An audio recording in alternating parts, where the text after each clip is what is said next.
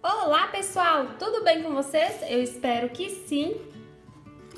Hoje eu venho com mais um videozinho aqui para o nosso canal e no vídeo de hoje eu vou ensinar vocês como confeccionar essa caixinha super linda no tema Princesinha Sofia. Para fazer o corte dessa caixinha nós vamos utilizar aqui a nossa máquina de corte vinco que veio lá da empresa Extenso Máquinas. É, eu vou separar aqui a faca que nós vamos utilizar, que nós vamos utilizar a faca da caixa bala.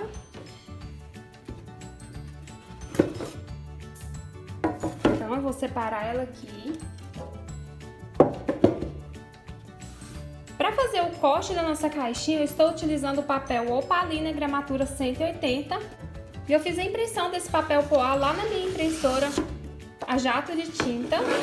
Então, estou utilizando uma folha de tamanho A4 e eu fiz a impressão ocupando toda a extensão da folha. Para fazer o corte da nossa caixinha super simples, eu só vou posicionar aqui a minha folha sobre a faca e vou introduzir aqui na minha máquina de corte vinho. Então, pessoal, vamos juntos ao vídeo. Eu vou introduzir a minha faca já com a folha posicionada sobre a faca aqui na minha máquina de corte vinco, dando uma leve pressionada e vou girar a manivela para que esse corte aconteça.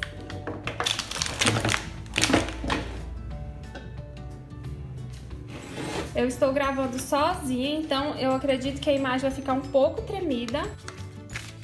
Olha só que maravilha.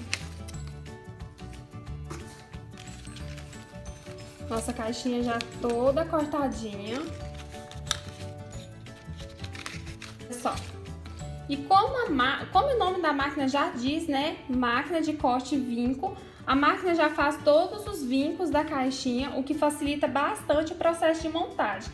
E eu vou montar essa caixinha aqui e vou decorar ela juntinho com vocês para vocês verem como é simples e como é rápido confeccionar caixinhas utilizando a máquina de corte vinculada da empresa Extenso Máquinas. Então, pessoal, já estou com a minha caixinha aqui toda montadinha e para colar a nossa caixinha eu vou utilizar essa cola aqui de silicone.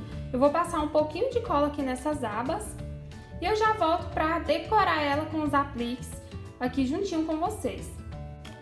Então, pessoal, caixinha coladinha, como vocês podem ver.